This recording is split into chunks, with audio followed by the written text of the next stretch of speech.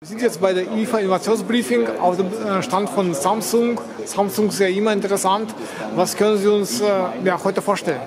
Ja, herzlich willkommen. Wir haben natürlich einige Highlights von 8K über unser OLED-Gerät bis hin zu unseren Lifestyle-Geräten. Hier sehen wir im Hintergrund den Frame, den es jetzt schon einige Jahre, 2017 haben wir den eingeführt, kontinuierlich weiterentwickelt. Und äh, hier sehen wir das 2022er Modell.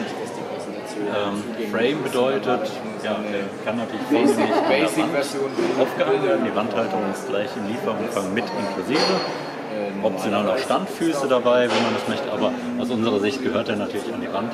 Und das Besondere ist, ich habe individualisierbare Rahmen, die ich hier anbringen kann.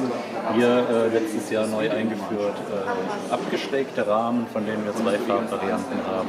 Wir haben aber auch noch klassische, eckige Rahmen im Programm und ähm, der ist sehr schmal geworden, also eine Bautiefe von ca. 25 mm plus diese Wandhalterung, die sehr nah an der Wand ist. Dieses Jahr die Neuheit ist nochmal ein mattes Display, sodass äh, externe Lichteinflüsse nicht mehr spiegeln, das heißt das Display ist sehr reflexionsarm.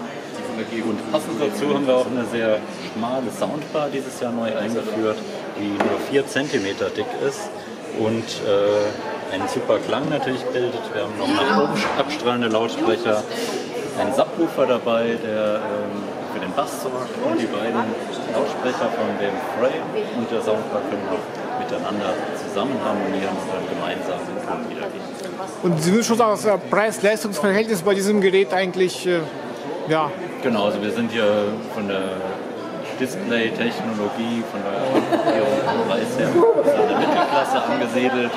Ähm, genau, haben wir gleich eine Wandhalterung mit dabei und äh, ja, haben das auch vor allem auch in verschiedenen Größen von 43 Zoll bis 85 Zoll, also für jede Preisregion nicht ganz unwichtig ist, vielleicht, äh, ja. Genau, das ist die Fernbedienung, die alle wesentlichen Funktionen hat, zwar minimalistisch gehalten ist, aber zusammen mit der Bedienführung am TV alle Funktionen ermöglicht. Und dies, der Clou ist, hier sind keine Batterien mehr drin, sondern ein Akku verbaut, der über Innenraumlicht und auch äh, Funkwellen geladen werden kann optional natürlich auch einen USB-Anschluss noch hat.